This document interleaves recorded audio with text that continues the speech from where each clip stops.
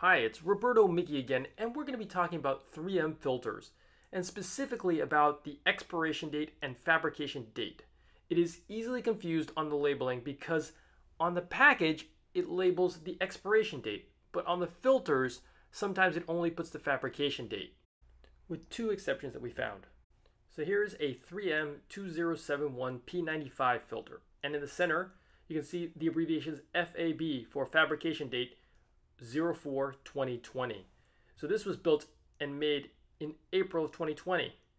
But on the packaging, you see the opposite labeling. You see 04 2025 for the expiration date. And for 3M, or most of their filters, the expiration date and the fabrication date are exactly five years apart.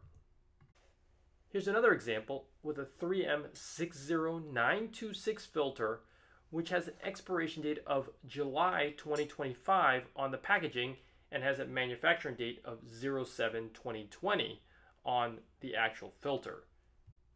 Here's another example with a 3M 2091 P100 filter, which has an April 2025 expiration date on the packaging and April 2020 fabrication date on the actual filter.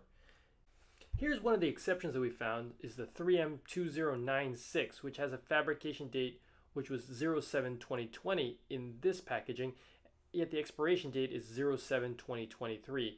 And this is likely because this has activated carbon in it, which ultimately limits the lifespan of this filter in this kind of packaging. Another exception to the rule is the 3M7093 P100 particulate filter, which has the fabrication and the expiration date engraved onto the cartridge.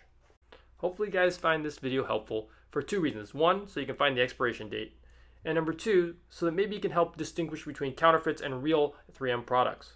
I want to give a shout out to Abaco Environmental Industries because they gave us the idea for this video, number one. And number two, they helped provide some of the filters and the photographs for the filters so that we can show the expiration date and the fabrication dates for these different filters. If you liked the video, hit the like button and subscribe below. We could use the support. Talk to you later.